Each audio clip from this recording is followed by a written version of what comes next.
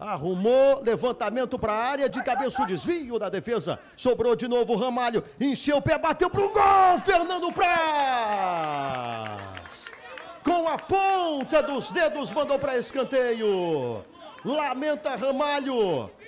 Fernando Praz foi pegar essa bola, hein? É, Com a ponta dos dedos, desculpa, Lucas, mandou para escanteio já uma grande defesa. É, e bela jogada aí do Frei Paulistano, girando o jogo.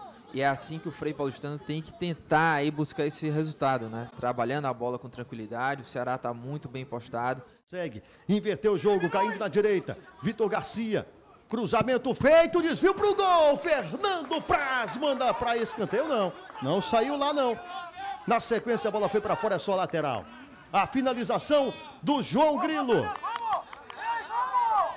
Olha aí. João Grilo finalizou. Deus passou, vai conduzindo. A bola conduzida, tocada pelo lado esquerdo, cruzamento para o Caio!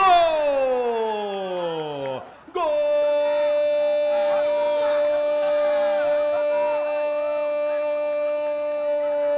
do Frei Paulistano!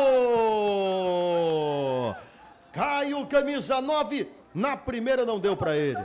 Na segunda, ele conferiu de cabeça, ainda bateu continência.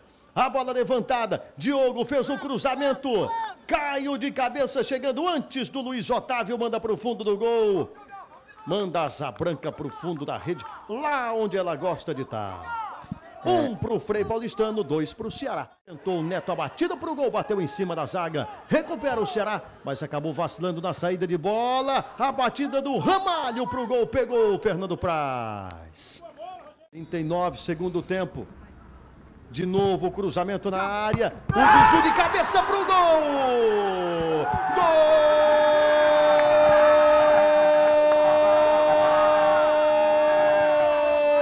do Frei Paulistano! Empata o jogo! Alisson, o zagueiro, camisa número 4, foi ao ataque aquela história. Foi ao ataque, não foi a passeio. 40 minutos do segundo tempo põe fogo no jogo. O levantamento na sala VIP, na pequena área, de cabeça, Alisson mandou para o chão. Inapelável para o Fernando Praz, que estava fora do lance.